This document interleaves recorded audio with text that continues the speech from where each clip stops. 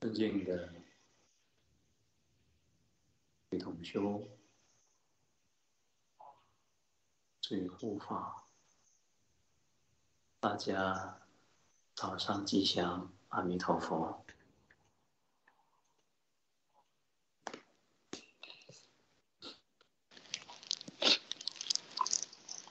啊，今天呢，在借这个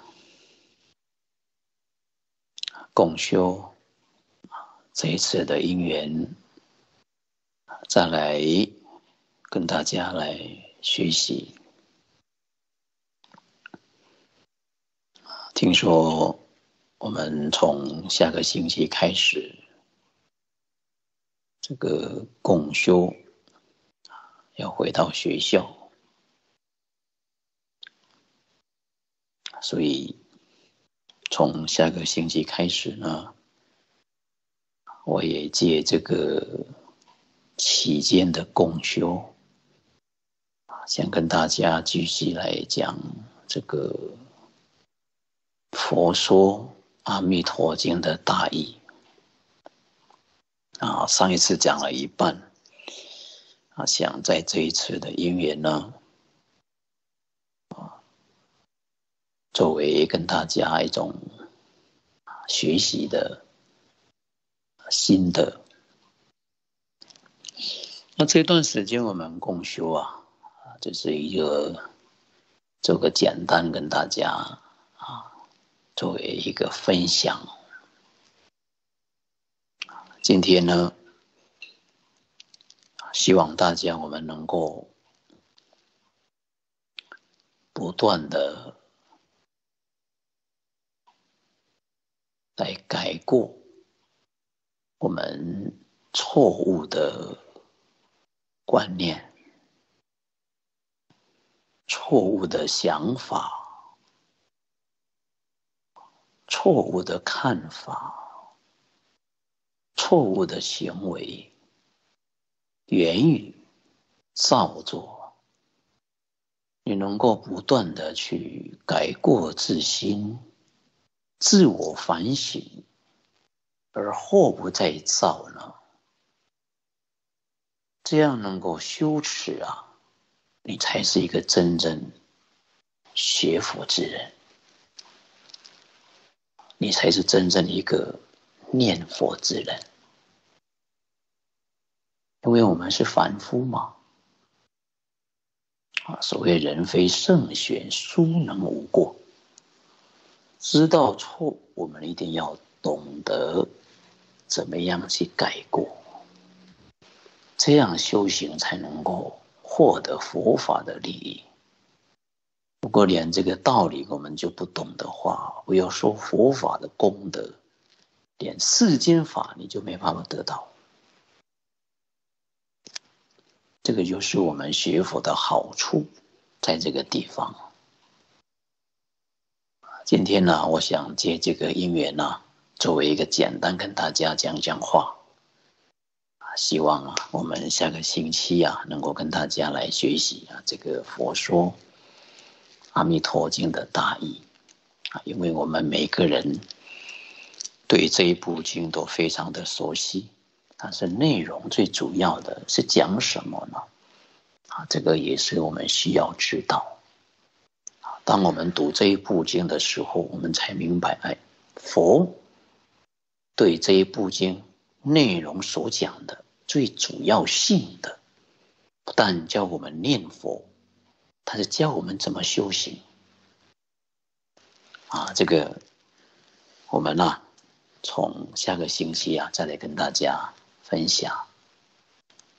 啊，所以今天呢，啊，想跟大家来讲一讲一些鼓励的，互相来提醒，希望大家。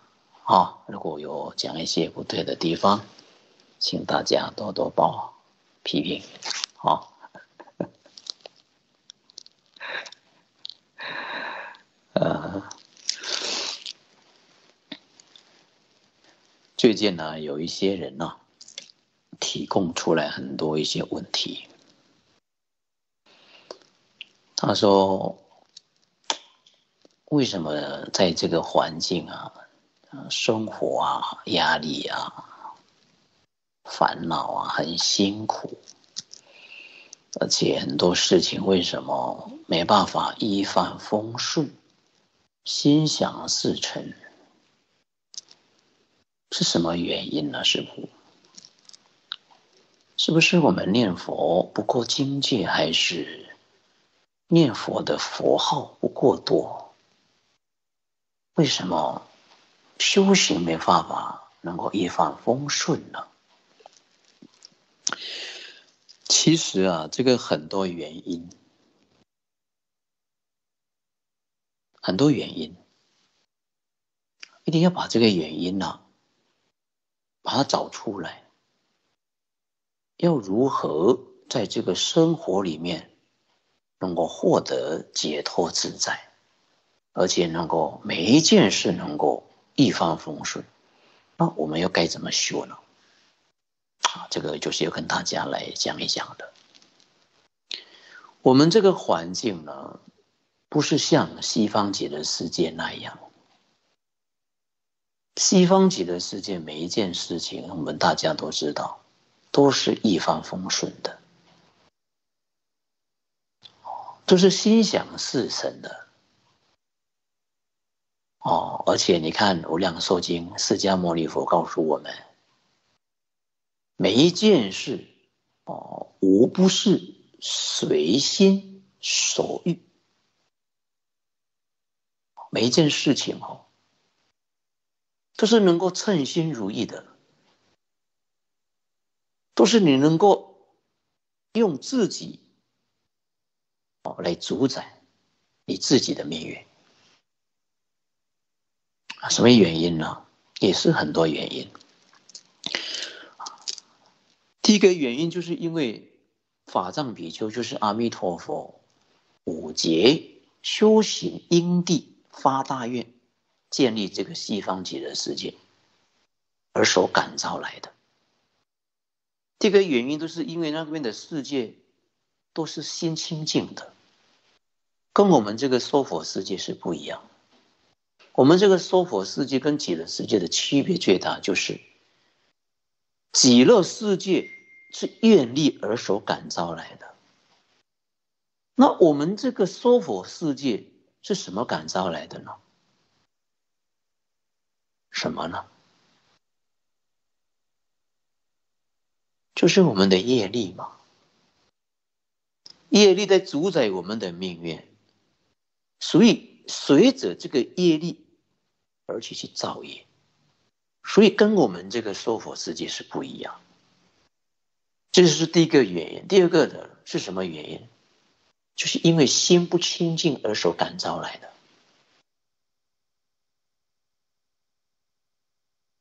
今天，如果你心清净，哪一件事情不是一帆风顺吗？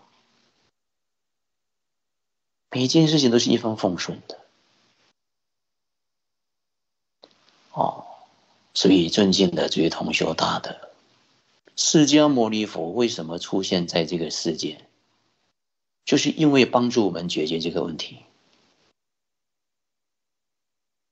今天，如果我们只是学佛啊，我修点福报啊，将来来到这个世间啊，能够获得啊，生在一个好的环境，生在一个好的国家啊，或者衣食无忧，或者身体健康长寿，儿女孝顺，种种的这种的福报啊，其他宗教能够做得到。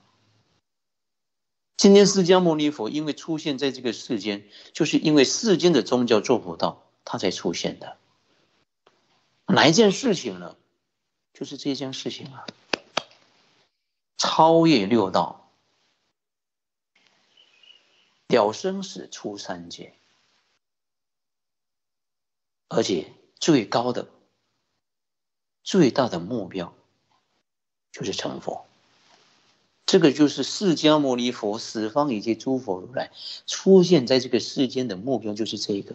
那我们今天学佛的目标是什么呢？不是修福报的，就是要成佛的。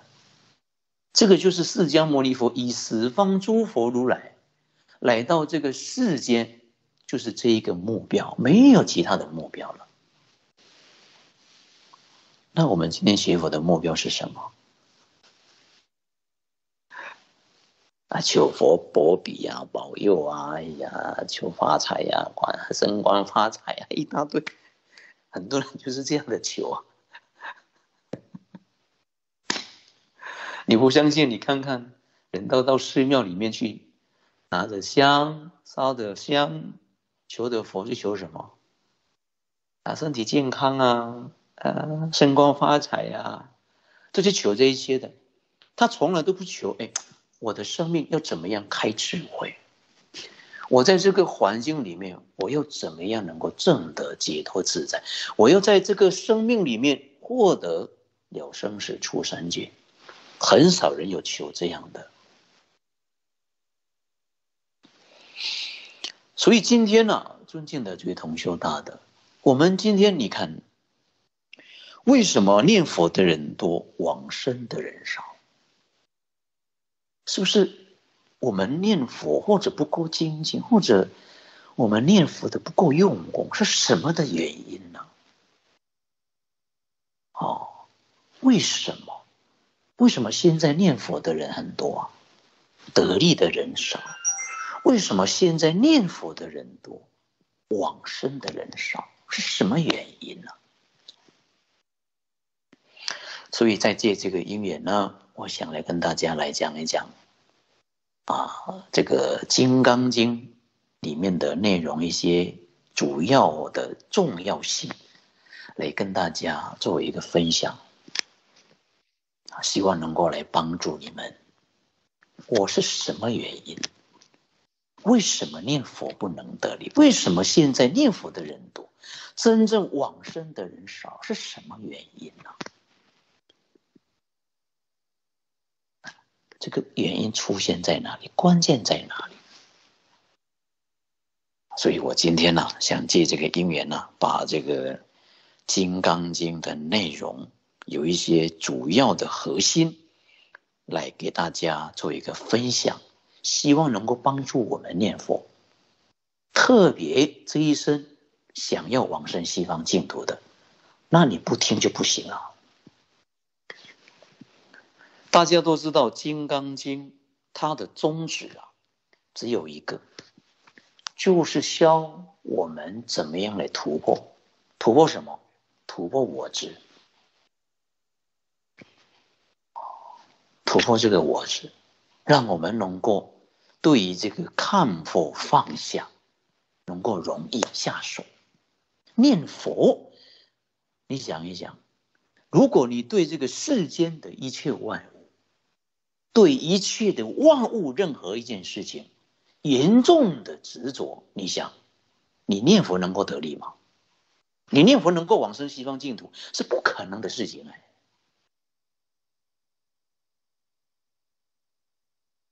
所以，虽然这一部经不是我们一般人学习的，但是有一些重要性的，我们可以拿来作为参考。啊，所以呢，这个事情我们一定要知道。那《金刚经》里面呢，有一段呢非常重要的，就是释迦牟尼佛。释迦牟尼佛问西菩提呀，他说，在这个恒河沙。这个恒河里面的沙子多不多？恒河沙啊，这个恒河里面的沙子多不多？西菩提说很多。那释迦牟尼佛又在问西菩提呀：如果有人散尽家财啊，像恒河沙那样的财富。就是说，把他的家产无量无边的去做慈善、去布施、去供养。释迦牟尼佛问西菩提：“这个功德大不大？”西菩提告诉释迦牟尼佛：“莫大功德。”就是说，功德非常大。你想一想，把你的家产哦。无量无边的家产去供养，去帮助一些贫穷、贫贱种种的那些贫穷之人，去供养，去做慈善。西菩提告诉释迦牟尼佛：“这个功德太大了，但是在这个里面的问话里面呢，释迦牟尼佛又问西菩提，有一个功德比这个更大，你能够把一切众生帮助这个众生开悟，能够把这些《金刚经》的里面的所讲的精华，去为大家言说，是帮助一切众生能够破迷开悟。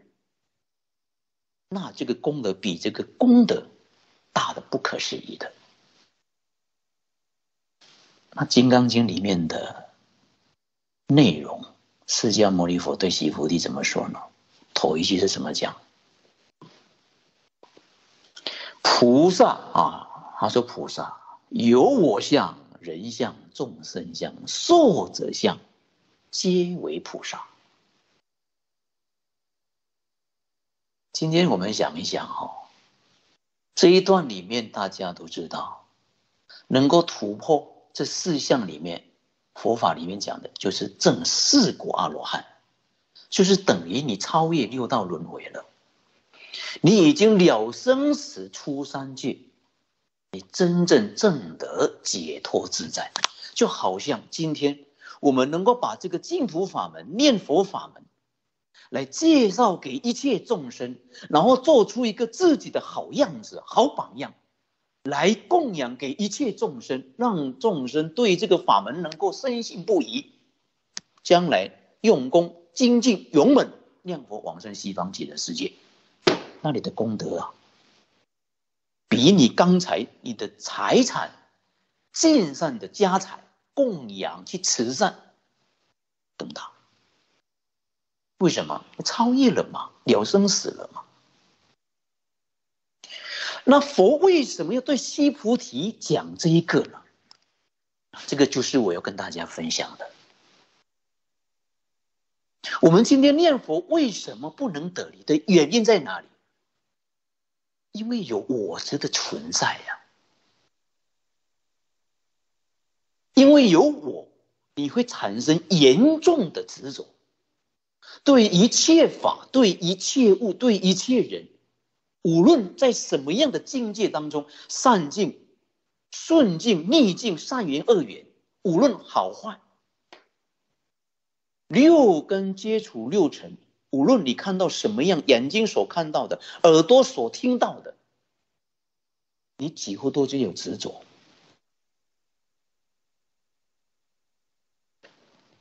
所以我们修行难，难在这个地方，你没办法突破它呀。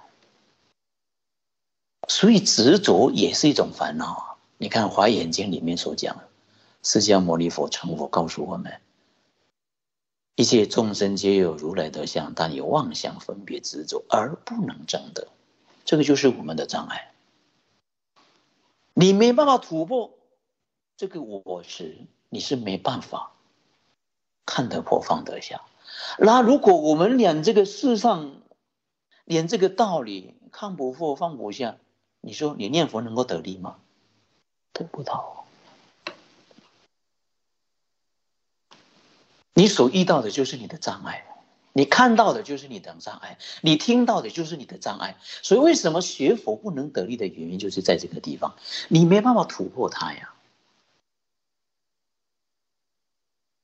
你想一想，你今天你眼睛所看到的，有时候看到喜欢的你会欢喜，看到讨厌的你会不会讨厌？就是被这些外面的境界天天而所转的，你没办法把这个境界而来所转它，所以你生活会很辛苦，常常每一件事让你一帆风顺的。让你这个心里面活得很累，活得很辛苦。为什么？因为这个我的存在，因为我起了贪念，因为我起了嗔恚，因为这个我产生了计较，因为这个我产生的讨厌，因为这个我产生的欢喜，其实都是假的。哪一件事是你的？没有啊！不要说外面的身外之物，连你自己的身体也不是你的，你执着什么？啊，有人说师傅，哎呀，这个生活环境不错。你看，我是会认识一个一个会长哦，你看哦，晋中协会的会长哎，他会做会长，你想一想，说明什么？说明应该他对这个道理很深刻。但是你看，他曾经跟我讲一句话，他说：“师傅，哎呀，太难了，很难呐。”啊，往生西方极乐世界啊！释迦牟尼佛把这个西方极乐世界讲的无尽的庄严、无尽的美好，确实真的。虽然我们没办法证明，但是我们相信释迦牟尼佛所说的话，我很相信，莫名其妙，我真的很相信。哦，但是我对这个这个亲情我放不下，师傅怎么办呢？哦，这个啊，这个道理啊，每个人都有的啦。哦，这个亲情好，呃，我我也是有这种的经过。哎，说实在的，真的很难啊，太难了。有的人对这个名利啊，因为我的存在才会有自私自利、名闻利养、五欲六尘种种的。那说你，我们今天如果没有把它突破，你把它当做是我的，这个就是我的，那个是我的。啊，你一定要听我的，你不听我，你把把你打入冷宫，哎，哪有这样的事情啊？很多人就是有这样的观念，你不听我的，嗯，你听我的，嗯，哪有这样的事情啊？你想一想，在这个环境里面，你要修行到这样环境，你说？好不好？很好啊！偶一大师所讲的啊，精明无好处，好处在你的心，关键在你的心，不在外面的这些。你的心解决了，你的心清净了，每一件事情都是一帆风顺的，每一件事情都是称心如意的，因为你突破了嘛，突破这个我相了嘛，突破这个我执了嘛。没有我的存在的障碍，没有我的存在的，你就活得非常的自在。所以我们现在没办法靠什么？靠这句名号。但是这句名号这么功德不可思议，为什么不能得力的原因，就是这个原因。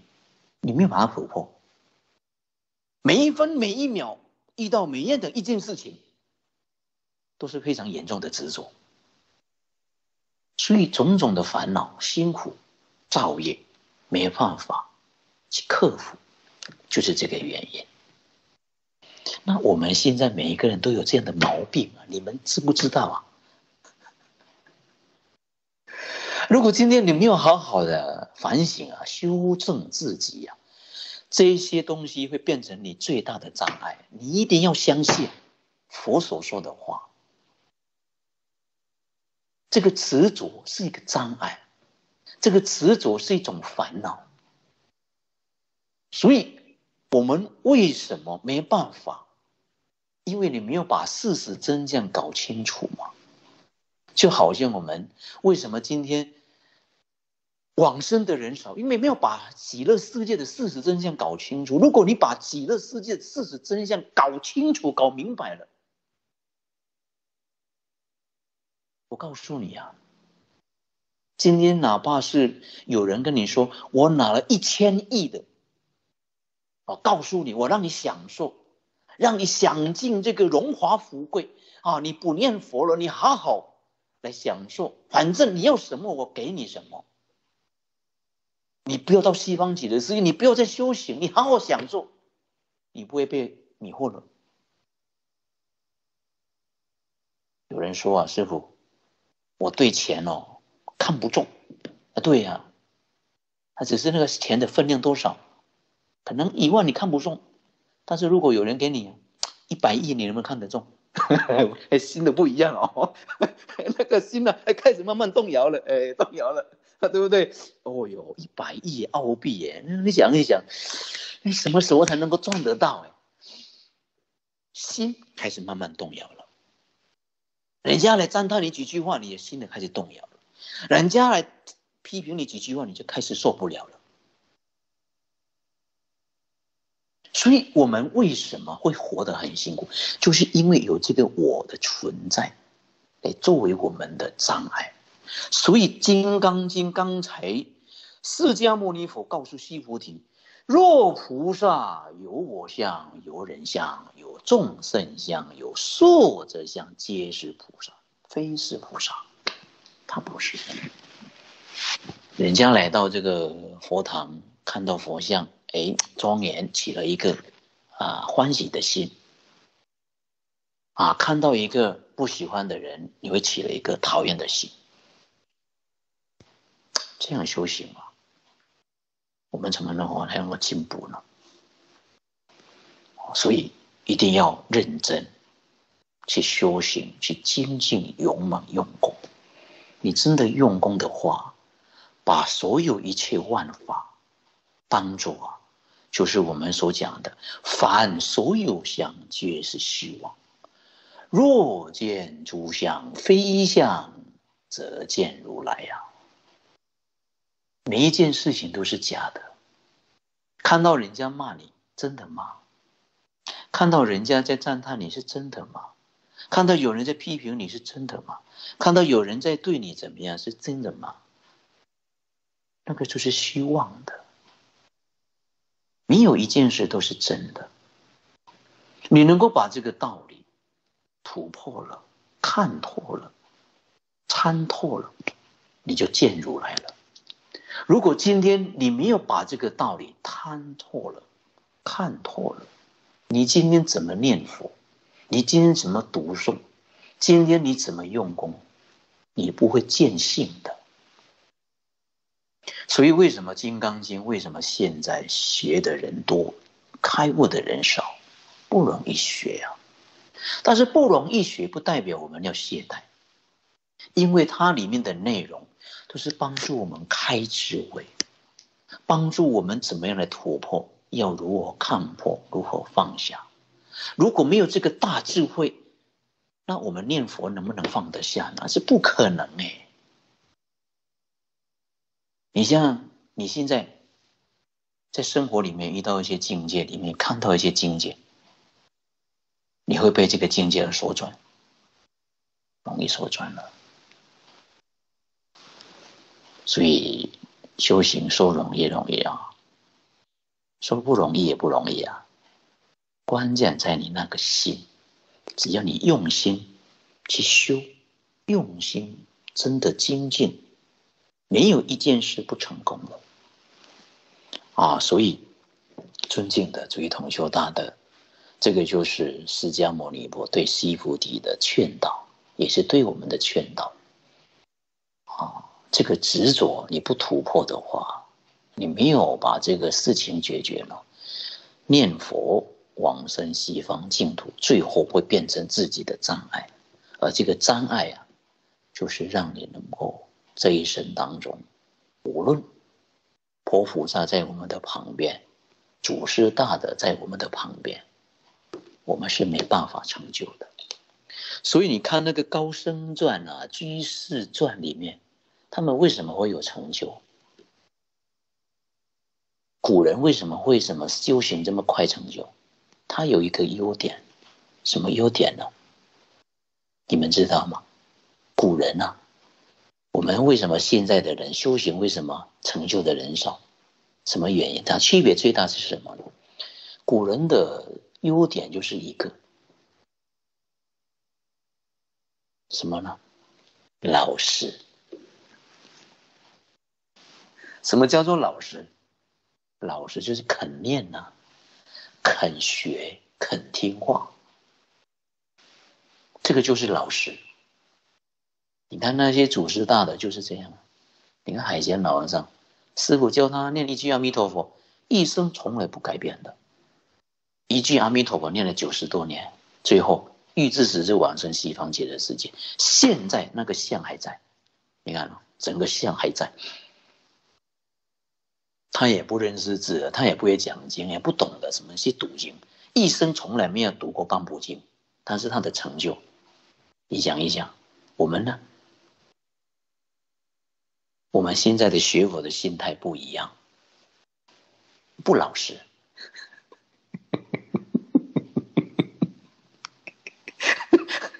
哎，是不是这个毛病啊？啊，就是不老实嘛。啊，像师傅最近呢，常常也是在中思考。哎，真的哎，你像你看，那个高僧传、那个济世传，你看，真的都是很老实的。我们现在的人学佛啊，偷鸡摸巧的那一种，啊，用一个侥幸的心态，那这个是不行的。学佛一定要用你的真诚心，啊，真诚心都是老实，恭敬心都是老实的。哎，做到老实真的很不容易啊！啊，肯念了，肯修，肯学，而且最主要的，肯听话。啊，这个。我们呢，现在很多人的毛病就是在这个地方，又不老实，又不听话，这个他真的很麻烦。所以，往这个念佛不能得力的原因就是在这个地方。哎呀，师傅，我念了，你好辛苦啊！啊，每天念佛，但是烦恼造就，怎么办呢？不老实。哦，你看。我跟大家来介绍一个故事啊，因为讲到这个《金刚经》嘛，这个、这个、这个故事呢，在一九二四年啊，在那个时候呢，轰动了整个这个社会，引起这些啊这些新闻日记啊啊来报道这个问题啊这桩事情。这个一九二四年呢，有一位和尚，名叫巨型和尚。大家有没有听过这个故事啊？巨型和尚啊，有没有听过？就是清朝末年的那个时候，光绪皇帝哦，那个时候清朝末年，皇帝那个时候是光绪三十三年。大家有没有听过这个故事？很精彩。哎，如果大家能够这样做的话，那不得了哎！哇，那个真的不得了。那怎么讲呢？这个巨型和尚呢，他念佛念到什么程度呢？他往生是怎么样的？用他的念佛三昧真火，把他的肉身啊自化往生的。有没有听过这个故事？那一天，那一天夜里呀，这个巨型和尚呢，用他的这个这个念佛三昧真火，自化往生啊，然后呢，这个引起了这个啊，这个道光啊，这个他的这个。这个出现了这种道光冲天呐，然后引起这个地区的人呐来看，哎，有发生什么事情？为什么在山上会有这个一道光往这个天上去冲了？所以那个时候呢，有一个日报叫《昆昆明日报》记者来报道这个问题，来看到这一幕，非常的赞叹。引起整个社会人士来看到这一幕，最后连这个虚云老和尚也来拜访，来看到这一幕。那巨型和尚是谁呢？他为什么念佛会有这样的这么大的成就呢？他的根基是谁给他建立的？他为什么修行有这么好的成就？这个故事啊，我们来跟大家分享。巨型和尚他的俗名啊，叫做阿变啊，因为啊，这个清朝末年呢，啊，内忧外患，就是说整个国家家破人亡，苦不堪言，民不聊生。很多老百姓活得很辛苦，都没办法吃饭哦。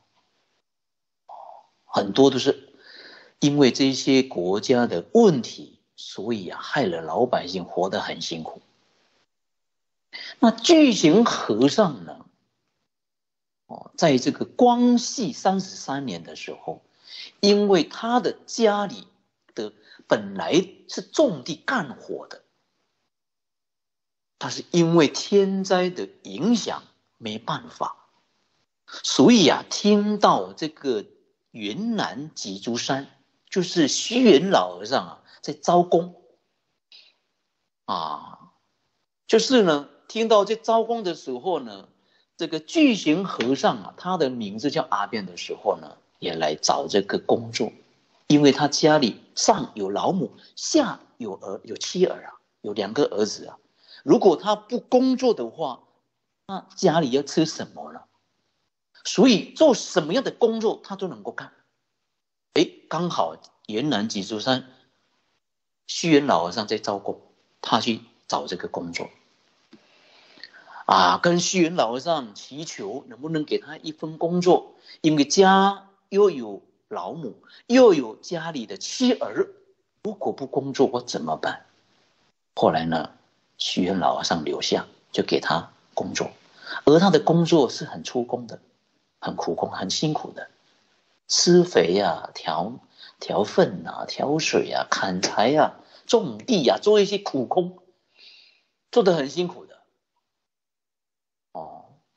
但是阿变呢，他有一个好处，他在工作的时候从来不讲话，人家跟他打招呼，他一来都不讲话的，所以很多人呢就称呼他什么呢？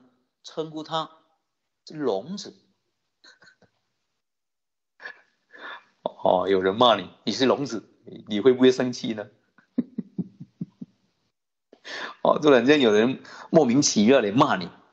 你是龙啊，哦，你会不会生气？啊，这个大家自己能够解答了啊，我不用给大家解答，好，大家自己最清楚的。哦，哦，这个，但是呢，这个巨型和尚呢，这个阿变呢，他从来不计较这些，人家怎么称呼他，怎么讲他，一句话也不说，因为虚云老和尚跟他讲，哎，你虽然在工作，你可以一边念佛。还没想到有一天呢，这个虚云老和尚啊要传戒，啊天天听虚云老和尚开示，后来呀觉悟到这个人生很苦，人生很苦啊，祈求呢虚云老和尚给他剃度出家，但是你要剃度出家，你一定要经过你的家属的允许，因为那个时候呢。这个巨型和尚啊，在这个云南吉书山住了一个月，他的家属全部过来了，啊，全部过来是因为灾害，还有这些地基主没办法，所以啊，一家人全部到这个吉书山来找这个巨型和尚。巨型和尚啊，也不是把他招待过来的，后来啊，因为这个虚云老和尚的慈悲，把他们收留，所以在后山住下来的冒牌。但是因为经过的家属，家属已经同意他出家，哎，他出家了。那出家呢？虚云老和尚除了教了他念佛，还教了一个道理，教他怎么去学习呢？大家要听好了。虚云老和尚啊，告诉巨型和尚啊，你虽然是念佛，但是你一定要开悟。怎么开悟呢？你一定要把你的我的心中突破，你的我执才不会变成你的障碍。对一切处、一切时、一切人、一切事，你能够不执着、寻缘，那你的修行都很快的成就。你不要把自己我当做是我，你也不是你，我也不是我。你这样的修行，你听得懂吗？虚云老和尚问巨型老和尚的时候，巨型和尚的时候，你听得懂吗？巨型和尚啊，怎么说呢？他说：“我听得懂。”今天我们看了《金刚经》，师傅跟你讲了几句话，或是我们的老师跟你讲了一万遍，你听得懂吗？听不懂。哦，真的说实在的，哦，我们真的听不懂。哎，巨型和尚哦，真的落实了，他的根基，虚云老和尚把它鉴定的。念佛，在修行，对这个我相、人相、众生相、寿者相，慢慢的从心中的我去突破，没想到成功了。那有一天呢，他就是这样哦，哎，就是用他的这个念佛三昧的真火，自化往生。那自化往生的时候啊，他全身都存在的哦，手拿着引磬哦。拿着引磬哦，哦，那个引磬没事哦，但是全身已经被这个三昧真火已经自化了。当虚云老和尚到这个现场的时候，看到这样的陷阱啊，对他非常的称赞。世界上所有的法师讲经的高深大德都比不了你。当虚云老僧告诉他：“你该走了，你是一个了不起的人物。”整个人呢化为灰尘了，剩下这个引擎。想一想，尊敬的这位同修大的，人家是怎么修行的呢？真的用勇气了，真的在用功啊！啊，今天如果我们能够这样做的话，那就不得了了啦！我们能不能？我们行不行？这看个人了。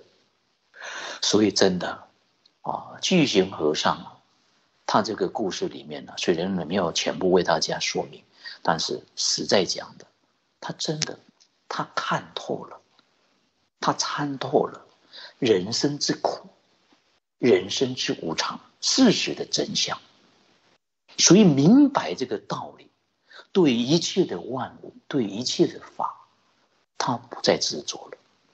一心一意来念这句阿弥陀佛，一心一意发愿求生西方极乐世界，而最后做了一个榜样，做了一个样子，做了一个一个一个不可思议的功德，让大家能够看了这一幕。没想到度了好多好多的人。那今天我们想一想，如果你没有把这个问题，把你的我执的存在慢慢的去克服、去突破的话呢，无论你怎么念佛，你只是跟阿弥陀佛借一个善缘，你还没真正入门，你还没真正入道。那我们该怎么修呢？啊，从这个地方你慢慢的下手。这个身体本来不是我的，所有的万物也不是我的。啊一切人，一切我所看到、所听到，也不是我的，都是假的。你能够这样想的话呢，你那个心的清净慢慢的出来了，你对一切的万物的执着慢慢的看破了，你对这句名号的念佛的功德利益就慢慢会出现了。这样念佛啊，你就会能够得力。哦，这个就是我们里面《金刚经》所讲的：凡所有相，皆是虚妄。一切有为法，如梦幻泡影。啊，这个就是给大家做一个简单的分享，做一个简单的介绍。希望大家好好用功。啊，人生是假的，总有一天有生必有死，没有一切万物都是我们的，总有一天他会离开我们，你也带不走，一丝好你都带不走的。啊，能够随缘，啊，能够从心地上里面能够放得下、看得破，无论什么样的境界当中，看到哪一些人欢喜，看到哪一些人不欢喜，看到哪一个善缘你不起了贪念，看到哪一个恶缘你不会去造业，无论在什么样的境界当中，你不会，你能够把这个清净心照顾。那今天我们念佛一定会得力，那这个得力最大的就是能够将来带业往生，往生西方极乐世界。啊，这个今天呢就是最简单，作为给大家一个报告，啊啊，希望大家好好用功，真的，啊，你要一定要明白这个道理，啊，真的，我们这个所有的东西所得到的。没有一样都是我们的，没必要过于执着，随缘就好了。由我们来做，没有随缘啊，跟人家要结善缘啊，看到哪一个人欢喜，看到哪一件事，你要跟人家结善缘啊，不要跟人家结恶缘啊，这个就是我们学佛最主要的啊，希望大家好好用功，好好努力啊，能够念佛，能够学佛，也是一种幸福。啊，因为学佛是一种教育，教育就是我们今天所讲的，教什么？教你的心，因为我们的心每一个心都有病，那这个病呢，如果没有把它解决，那念佛是不会得力的。啊，今天呢讲到这个地方，啊，我们下个星期呀，啊，再来跟大家分享这个。佛说《阿弥陀经》的大意啊，今天如果讲了一些不对的地方啊，请大家多多批评啊啊，也希望大家六世吉祥啊，祝大家法体安康啊，祝大家老实念佛，我们同生极乐国。谢谢大家，阿弥陀佛。